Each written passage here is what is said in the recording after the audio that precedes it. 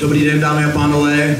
Já vás vítám na Mezinárodním mistrovství České a Slovenské republiky v kulturistice a fitness Federace NABA. Mé jméno je Michal Benda, jsem předseda Českého svazu, nezávislého svazu kulturistika a fitness Federace NABA a Federace VFF. Vedle mě stojí prezident, předseda slovenské svazu, nevím přesně, jak se to u vás jmenuje, ale předpokládám si prezidentem NABI Slovensko. Předávám mikrofon. Pavel Kysel. Dobrý deň, zdravím vás. Ja by som len chcel všetkých privítať. Dúfam, že sa vám bude páčiť dnešná show. Dúfam, že e, všetci budete spokojní s tým, čo na pódiu uvidíte. A verím tiež tomu, že tu nájdeme mnoho závodníkov, ktorí dokážu reprezentovať ako Česko, tak aj Slovensko na medzinárodných podujatiach.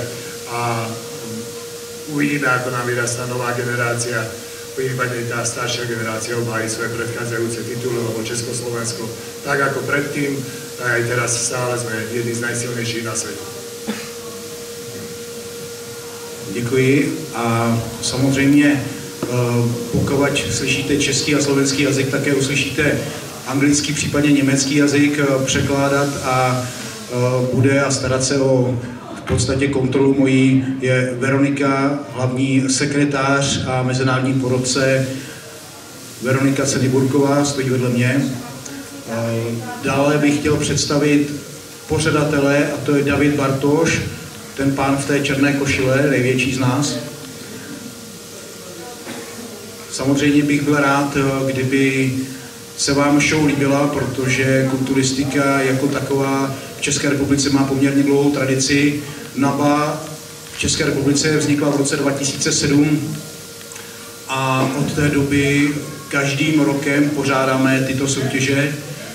Jednak mistrovství České republiky, ale dále také další show, jako jsou třeba pohárové soutěže Relose Prague Open v Praze, případně mistrovství Evropy, které se konalo minulý rok v Praze, Federace NABA. Příštím rokem bude mistrovství Evropy pořádané Pavlem Kyselem na Slovensku v Bratislavě, takže věřím tomu, že i vy diváci se přijdete podívat k nám na naší kotlinu, to znamená tady v, v České republice, tak i případně na Slovensku do Bratislavy příštím rokem. Dneska uvidíte celou řadu atletů. Někteří atleti mají možnost startovat ve více kategoriích, takže samozřejmě se vám může zdát, že toho člověka vidíte po druhé, což naše pravidla umožňují a doufám, že budete všem atletům eh, fandit, nejen těm svým.